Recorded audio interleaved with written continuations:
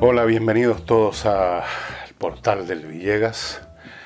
Em, comienza la semana, y de hecho, en cierto sentido comenzó ayer, el lloriqueo universal de lo que podríamos llamar el progresismo latinoamericano, debido a casi la victoria en primera vuelta de Bolsonaro y su posición para la segunda vuelta eh, muy ventajosa, pues tiene más de 20 puntos de distancia con el señor del partido de los aprovechadores, perdón, de los trabajadores.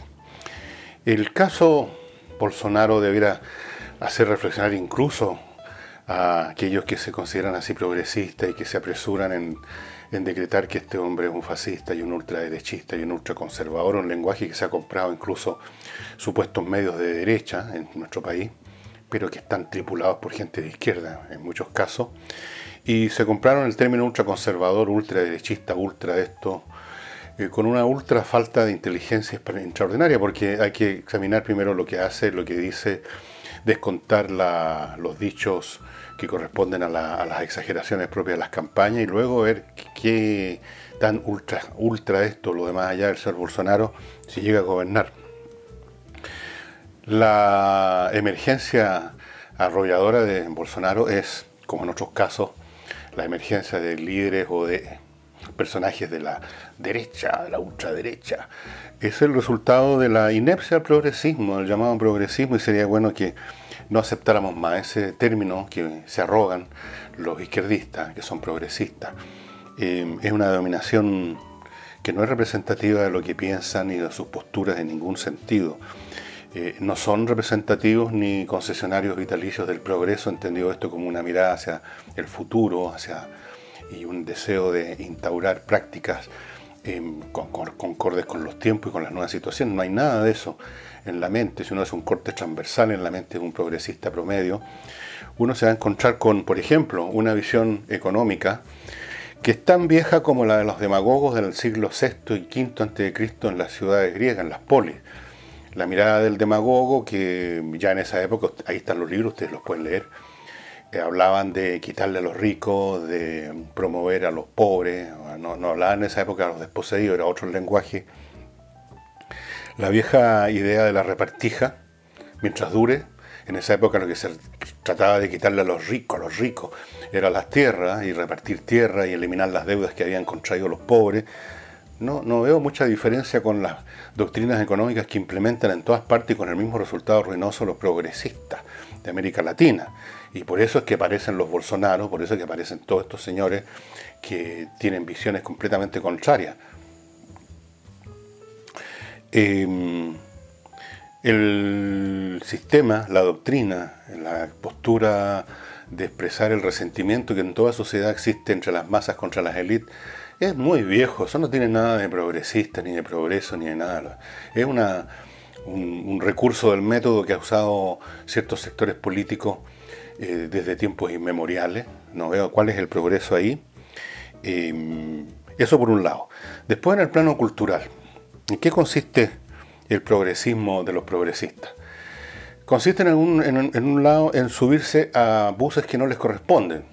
Recordemos que el Partido Socialista, me parece acá en Chile, decretó hace poco tiempo que era un partido feminista y socialista y no sé qué cosa. ¿Cuándo han sido feministas los socialistas o cualquier otro grupo político de la derecha o de la izquierda? ¿De dónde?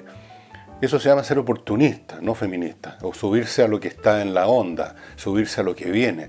El feminismo y otras cosas que han ocurrido en nuestro país y en todo el mundo tienen que ver con procesos culturales que no tienen su autoría en la en las acciones, en, las doctrinas o en las agendas de los partidos de izquierda, o perdón, progresistas.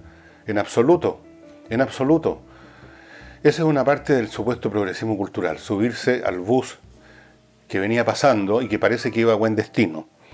Segunda parte del progreso cultural de los progresistas es avivarle las cuecas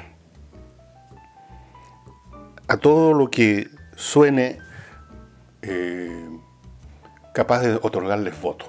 No importa si es un, asunto que revela más bien una profunda descomposición moral, no importa, estamos ahí. Eso se llama progreso en la visión del progresismo. Em, cuando uno lee la literatura, entre paréntesis, la literatura, el arte que promueven los eh, progresistas, que es siempre una, una forma vulgar de arte. Están siempre cacareando sobre el arte popular y todo lo demás. Si ustedes quieren hacer, darse un atisbo más o menos lo que significa el arte popular, en la visión, porque no tiene nada que ver con esto con el folclore, en la visión de estos grupos progresistas de todos los tiempos, lean por favor, por favor, cito, lean las novelas que escribieron los novelistas oficiales del régimen de la Unión Soviética, y ahí ustedes se van a dar cuenta en qué consiste su progresismo cultural. Unas novelas panfletarias, donde el héroe siempre es un, héroe del trabajo soviético, que cada dos frases saca cita a Marx, a Lenin y por supuesto a Papá Stalin. Es como leer esas novelas piadosas eh, o esa literatura cristiana del siglo VI, VII, donde exactamente ocurre lo mismo, cada dos palabras aparece Jesucristo. Ese es el progresismo cultural que, que promueven los progresistas. ¿Qué es lo que han hecho en la práctica? Pues esto no, esto no es opinable, esto no es un tema de que a uno le guste o no le guste, es cuestión de mirar los, los hechos. ¿Cuál ha sido la, la cosecha del progresismo, de estos progresistas que miran hacia el progreso en América Latina? Donde han estado, han tenido el toque de Midas al revés. Midas convertía todo lo que tocaba en oro. Esta gente todo lo que toca lo convierten en caca, en ruina. Arruinaron Argentina, arruinaron Brasil, arruinaron Venezuela, por cierto, y por lo menos estancaron, ahí iban en camino de arruinar a nuestro país. Y, mm, no solo eso, de ahí donde han estado, han fomentado la guerra de clases, ya vamos a hablar de eso con el señor Telier, han fomentado las rabias, los resentimientos, han avivado todas las cuecas de la ira, han dejado que el delito crezca porque no han sido capaces de combatirlo eficientemente y apoyan todo lo que crean ellos que representa la modernidad o que en todo caso representa voto, como si fueran grandes causas. No les voy a enamorar las grandes causas que han apoyado en Chile y que son bastante discutibles. Así es que vuelvo a preguntar, ¿qué tiene de progreso? ¿Qué mirada hacia futuro ahí en esta postura que tiene por lo menos 2.500 años de vida, con otros nombres, que ha sembrado la ruina, que ha llenado de, conflictividad la sociedad donde han estado. Bueno, estos señores son los que se están, están llorando como Magdalena por la casi inmediata victoria de Bolsonaro, los mismos que están llorando como Magdalena y retando a todo el mundo por la victoria de Piñera en Chile, y así sucesivamente. Se me olvidaba la victoria de Macri en, Argentina. En Venezuela es imposible que haya una victoria contra Maduro porque se llama una dictadura desatada, contra la cual por supuesto los progresistas no dicen absolutamente nada, por lo menos los más progresistas de ellos, el Partido Comunista. Así es que, que tiene de raro ante estos hechos, ante, estos frutos que entrega el progresismo, que la gente se revele y que la gente elija al que hay. Quizás en Brasil había una mejor opción en teoría que Bolsonaro pero no la había. Era o Bolsonaro o el señor representante del Partido de los Aprovechadores, o también llamado Partido de los Trabajadores. Em, ¿Qué tiene entonces extraño? Nada. Lo que hay de extraño en todo esto es la porfía de esta gente, la porfía mesía, eh, ya satánica por volver al poder. Fíjense ustedes que en, en Brasil una de las políticas más desacreditadas por sus actos, por su por sus irregularidades, la señora Dilma Rousseff, tuvo el descaro de presentarse como candidata a senadora y la patearon en los dientes. De todos los candidatos que se presentaron, creo que llegó en el cuarto lugar, con una votación mínima, insignificante, microscópica. Em, ahí tenemos entonces al llamado progresismo, que está lloriqueando. Si Bolsonaro es elegido presidente, como creo que va a ocurrir, porque si uno suma los votos de Haddad y todos los demás, aún así no les alcanza.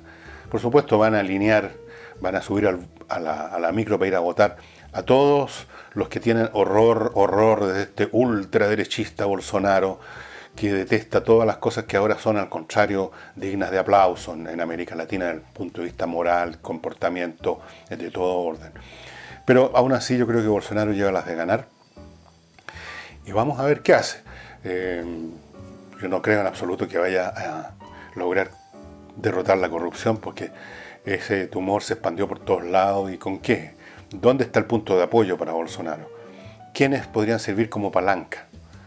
Es más o menos lo que ocurre en México, que están todos podridos por el dinero. Entonces no hay por dónde atacar a la corrupción. No hay manera de eliminarlo porque ya está en todo el cuerpo político y social de México y lo mismo ocurre en Brasil. No hay forma de combatir la corrupción. Diría yo que incluso el término ya no tiene sentido. Uno habla de corrupción cuando hay una parte de un cuerpo sano que se está descomponiendo. Cuando está todo el cuerpo corrupto, bueno, eso es ya la nueva normalidad simplemente. Y antes de continuar con los temas que tengo, les quiero recordar lo del Club Explora. El Club Explora de Eudora Vinos. Es un club en que usted se hace socio, por así se inscribe, por una UF al mes y cada mes recibe un paquete que viene con dos botellas. Les muestro una, cada una de ellas envuelta en esta hermosa bolsa y dentro de la bolsa emerge lentamente ¿Qué, nos tocó en esta oportunidad? Blue Hands, manos azules. ¿Qué es esto? Esto es una de estas viñas exquisitas que tenemos en Chile, de Cauquenes, Valle del Mable, un Cariñán 2014. Como dije el primer día que hablé de, esta, de este club, todos tenemos un vino estándar, el caballo de batalla de la mesa todos los días pero todos los que nos gusta el vino también nos gusta explorar. Por eso que esto se llama Club Explora. Nos gusta de vez en cuando tomar un vino diferente, buscar un vino distinto, exquisito, y después volvemos a lo de siempre. Y eso es exactamente lo que provee Club Explora de Eudora Vinos. La sorpresa cada mes de recibir dos botellas, uno no sabe cómo se va a llamar la viña, qué tipo de vino es, acompañadas de una receta hecha por un chef con platos que se ajustan al vino en cuestión. Ustedes están viendo los datos de cómo contactarse con el Club Explora, ahí los tienen a mi izquierda. Y otra cosa que no les mencioné otra vez y ahora sí, hay un gift card. Si usted quiere hacer, bueno, aquí no está la tarjetita, si usted quiere hacer un regalo, usted le puede regalar a alguien una suscripción por el tiempo que usted quiera, según sea su cariño, un mes, dos meses, lo que sea, les regala una suscripción para que les llegue en su momento estas dos botellas, estas botellas exquisitas de vinos cada vez distintos. O sea, esa es la gracia, la sorpresa. No le va a llegar siempre la misma, la misma botella, ¿no es cierto? Y entonces, yo sugiero a, a los amigos del vino tinto, a los amigos del vino en general, que se inscriban en este club y empiecen a disfrutar de la sorpresa más exquisita de todas, esa que se sirve en la mesa. Y ya notaron los datos, supongo. Vamos a continuar con, con Maduro, a propósito de los progresistas. Maduro arruinó completamente a Venezuela. Venezuela es un país donde se está yendo la gente. Cuando se llega a ese extremo, como en un país en guerra donde los están bombardeando, van 4.100.000 personas, idas más o menos, una cosa así.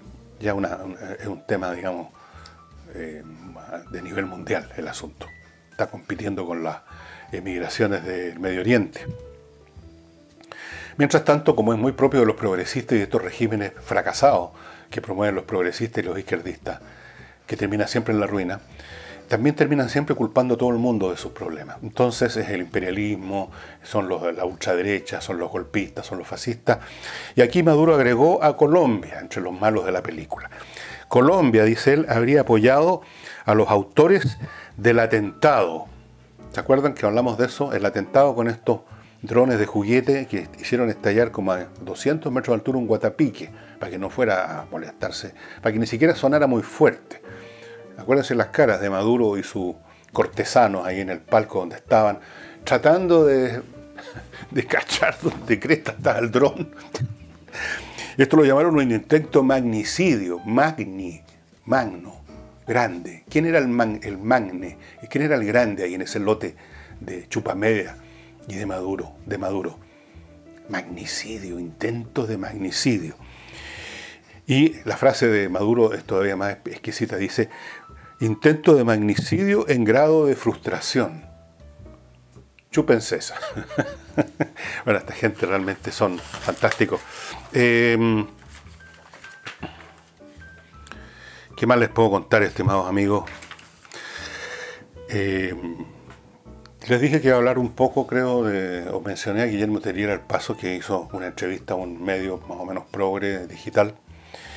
Y la leí. Siempre tengo curiosidad por ver qué dicen, a ver si alguna vez dicen algo nuevo.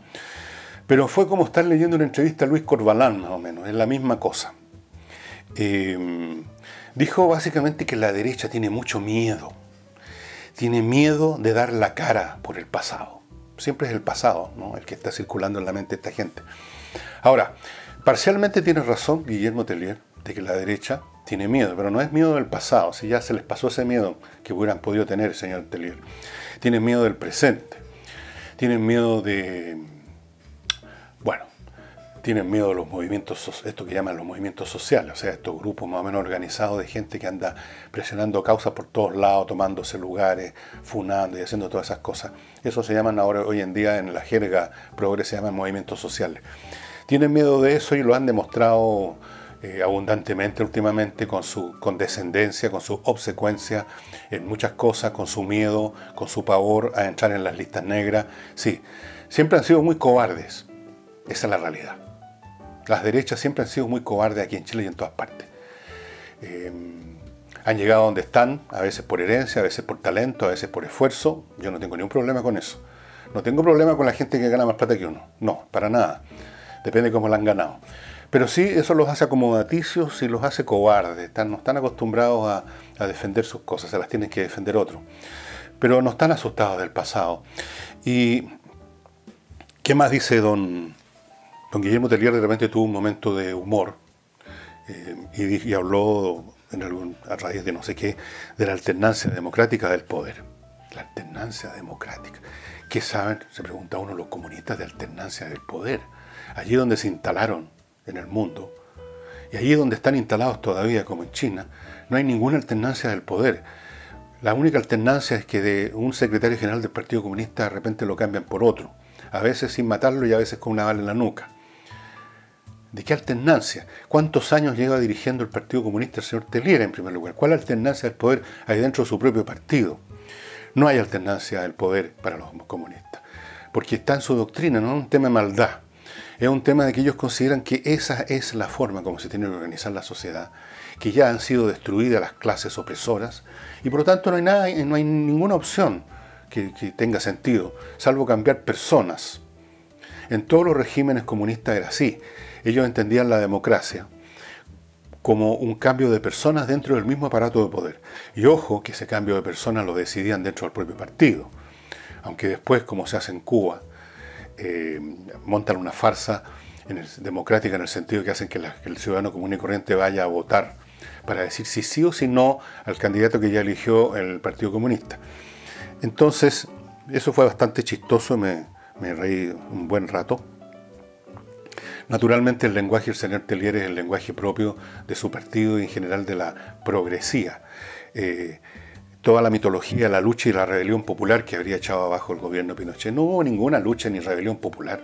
¿De qué rebelión popular está hablando? ¿En qué se manifestó más allá de estos jóvenes de población que salieron durante una temporada al final del régimen, al final del régimen, a las protestas y que, les, y que costaron bastantes vidas?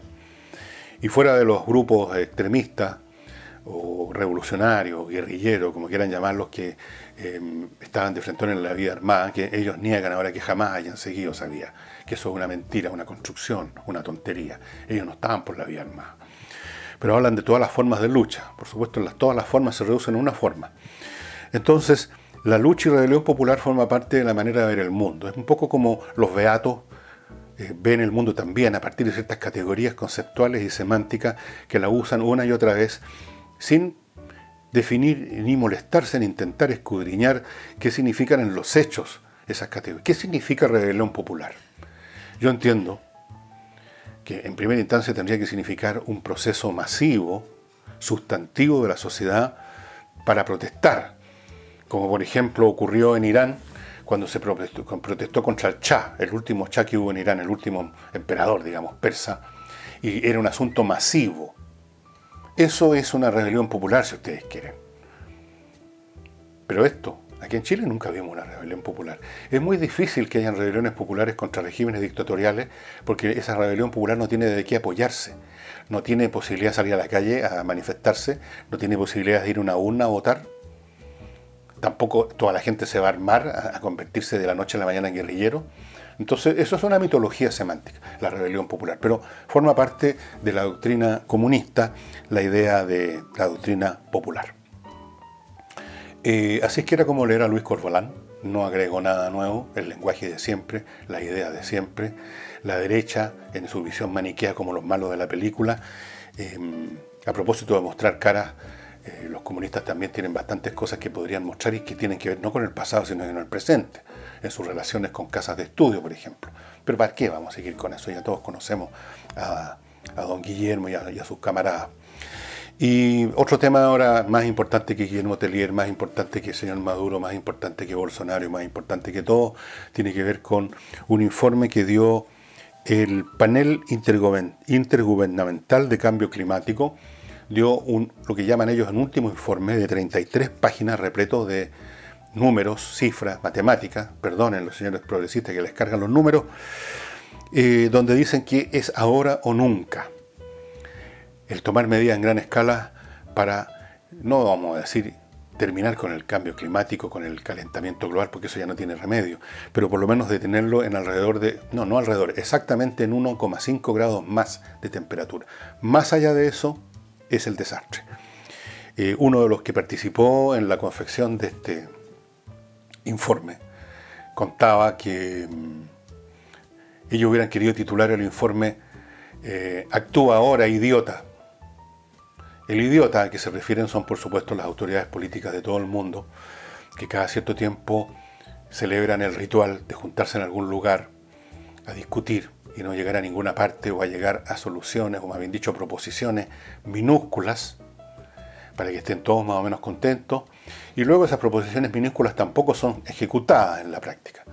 Al punto es que después de ya no sé cuántas reuniones de este tipo que hemos visto, la última fue en París, que hemos visto a lo largo de los últimos dos, tres décadas,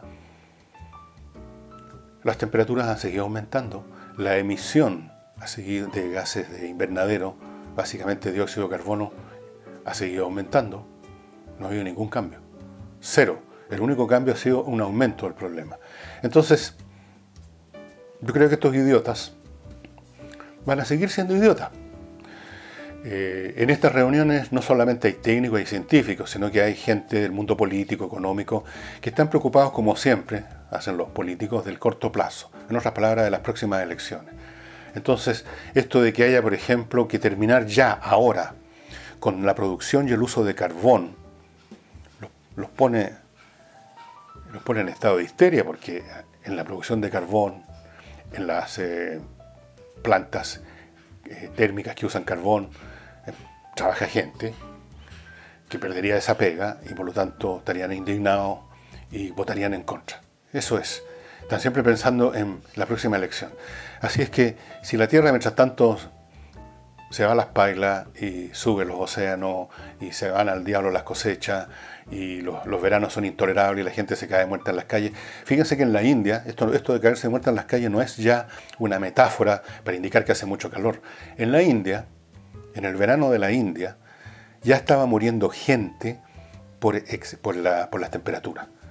Gente que tiene problemas del corazón, gente que es un poquito más vieja, o, o gente que tiene la más mínima debilidad, incluso gente joven, caían como moscas. Es invivible hay algunas ciudades de la India que son invivibles, que la gente simplemente no se atreve a salir de su casa con el calor. Ese panorama de infierno digno de una película de ciencia ficción negra es lo que ya se está viviendo en muchas partes del mundo. ¿Qué se requeriría, dicen estas personas, tomar medidas inmediatas? Tomar medidas inmediatas. Y aquí tengo anotado algunas de las consecuencias, algunos de, de los requisitos se requeriría que el mundo, el planeta entero, invirtiera al menos el 2,5% de su Producto Bruto por los próximos 20 años. Meta, la cantidad de CO2 que ya hay en la atmósfera, perdón, la cantidad de CO2 que se emite, que se sigue emitiendo, la que está en la atmósfera ya está ahí, debe bajar en un 45% respecto a lo que era el nivel del 2010, no de ahora, del 2010. O estamos hablando de la eliminación total, total de la quema de carbón, por ejemplo.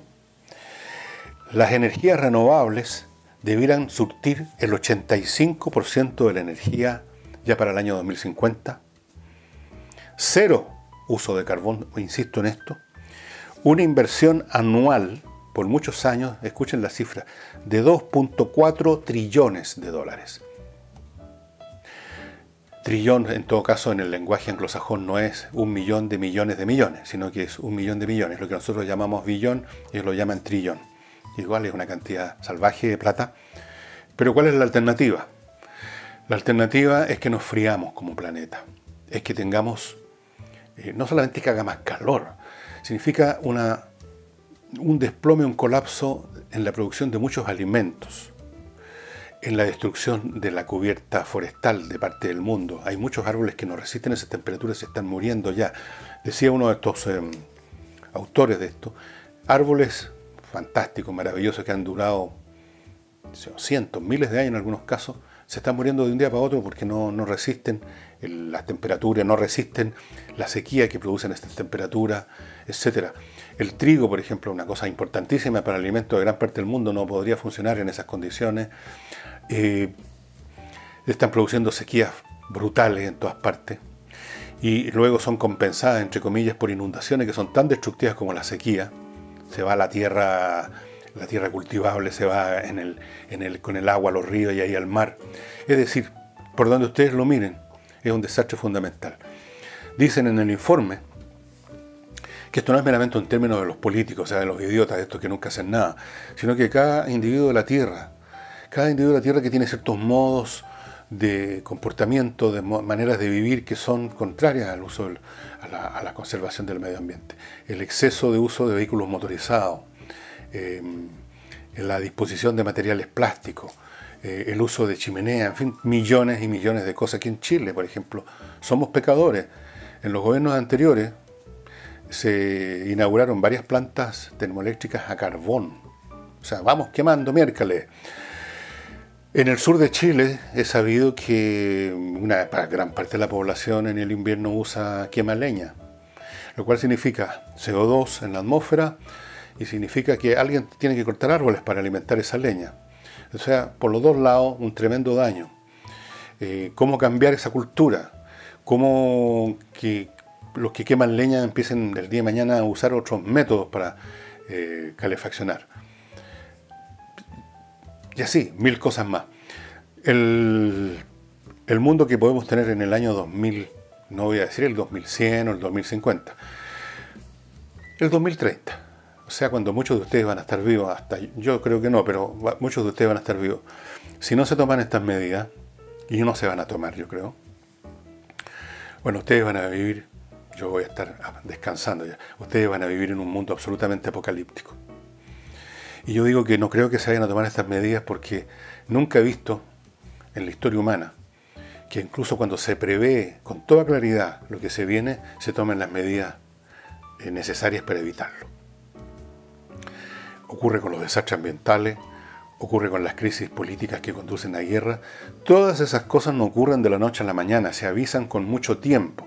El tema de la destrucción del, nuevo, del medio ambiente empezó a hablarse en serio en una reunión en Roma en los años 60, a principios, yo era cabro chico me acuerdo, pues salió en una revista de la UNICEF en los años 60. Y aquí estamos, 50 años después, nuevas reuniones, nuevos burócratas con alambre saliéndoles por la oreja, nuevos eh, idiotas escuchando esto, pero tratando de disminuir o que sea otro el que pague el costo de las medidas que hay que tomar. En el caso de las guerras lo mismo, las guerras se deben venir con años, con años de anticipación y no se toman a tiempo las medidas, sino que se, se va pateando el tarro para adelante, que otro se haga cargo del problema. Así que esto, que es tan costoso, que es tan tremendo, que significa cambiar los modos de vida de miles de millones de personas, que significa eliminar industrias completas. Imagínense ustedes la industria carbonífera o la industria del petróleo. ¿Qué interés podrá tener en este cambio? Por supuesto que se están tomando medidas de mitigación aquí y allá que resultan menos de los idiotas que toman, que hacen resoluciones y decretos ley arriba, que simplemente el cambio tecnológico. El, tema del auto eléctrico, por ejemplo, está ido creciendo, creciendo, y uno puede prever que en unos 10 o 20 años más el asunto se va a masificar bastante. Hay también eh, permanentemente desarrollos tecnológicos en el diseño de los motores para que consuman menos combustible, expelen menos, expelan menos gases de invernadero, etcétera. Pero ¿será eso suficiente? Según los técnicos de este informe intergubernamental, no, porque aquí se está hablando de medidas realmente muy masivas. Uno no se cura de una enfermedad grave poniéndose parchicurita y es exactamente lo que ocurre en este caso. Y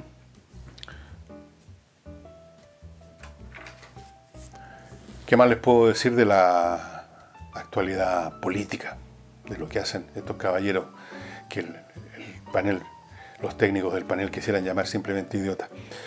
Bueno, ellos viven inmersos en su mundo en miniatura. El caso Bolsonaro, por ejemplo, va a llenar, no sé exactamente, ya lo vamos a ver, eh, cuando se celebra la segunda vuelta en Brasil. Seguramente en este momento ya están eh, en conciliábulos todos el partido de los aprovechadores con todos los demás, tratando de formar un frente de resistencia. Por supuesto ya los, maniqueístas de siempre ya crearon que la, imagen falsa de que esta es una lucha entre democracia y fascismo. Una palabra que les sale pero con una facilidad asombrosa a los labios a los progresistas la palabra fascista, de la cual no tienen ni idea probablemente. Esto no es una lucha entre democracia, porque el partido de los aprovechadores no, no era más que la, la, democracia de los aprovechadores para robar todo lo que podían, ni el otro lado está el fascismo, ninguna de las dos cosas. ¿Qué es lo que es exactamente este dilema que se está viviendo en Brasil? Los dilemas tendrán, el dilema tendrán que resolver los brasileños en las próximas semanas. Y será hasta mañana.